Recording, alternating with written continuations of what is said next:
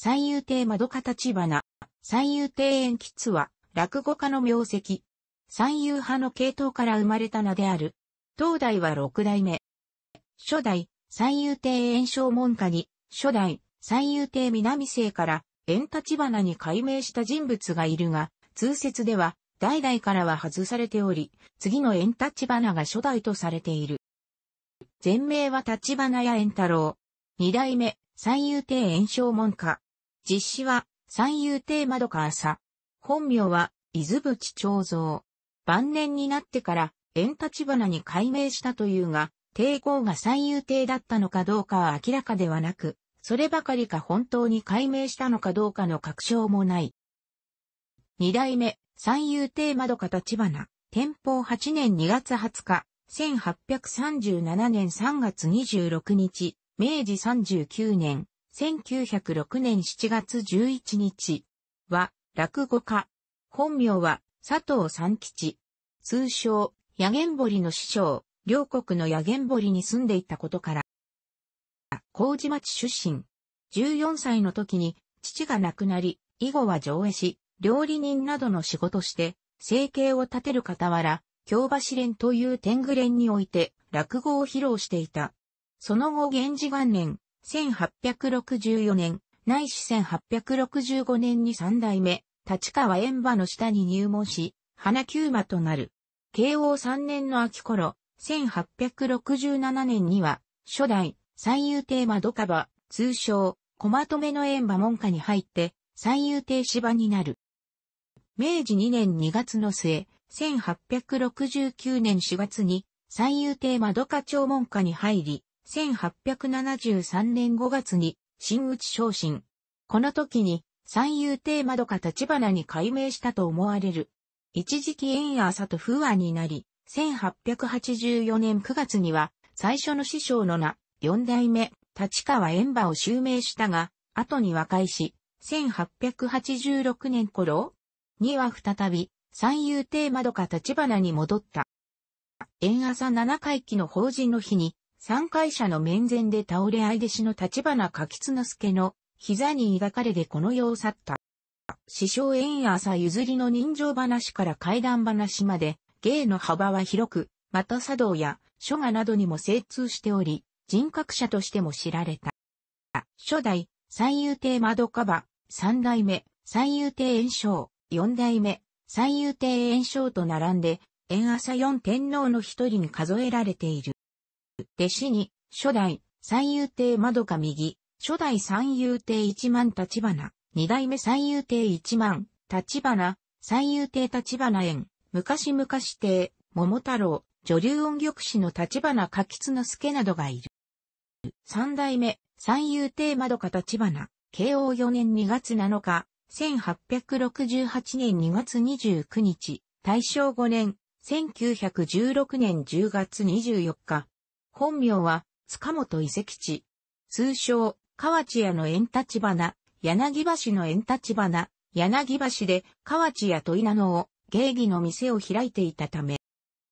父は、紀州藩の武士で、維新後家禄の交際を資金に、浅草田原町で呉服屋をした。自身は呉服屋を手伝いながら夜な夜な寄せ通いをしていた。1884年に二代目、金五郎小三門下で柳家小夏を名乗り、1888年、9年、頃に、初代、三遊亭窓か遊門下に移って、三遊亭遊ぶ七に改名する。1902年4月に、新内で、初代、三遊亭遊ぶ朝となり、1908年5月に三回忌に三代目、縁立花を襲名。容姿が良く、小粋な芸で色白でおっとりしていたところから、枕草子の殿様とのあだ名も付けられていた。軽めのネタから新作をこなした。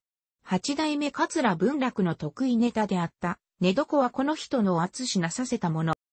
一時期三遊派を離脱して、三遊文派に所属したことがある。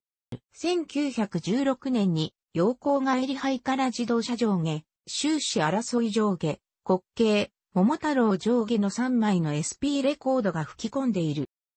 弟子だった人物には、竜亭志学、本名、杉徳次郎、三遊亭吉也、本名、中村寛さん、式亭三馬、本名、宇田川喜太郎、桂文之助、六代目、桂文治の子などがいる。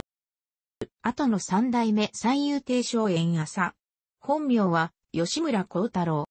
五代目三遊亭窓か立花。1884年11月5日から1959年6月23日は落語家。本名は豊永豊太郎。東京下屋の生まれ、1903年1月に初代三遊亭窓か右門下で右期末。1907年初め頃に三遊亭窓かすずめに改名し、さらに1916年8月に三遊亭弱縁右で新内昇進。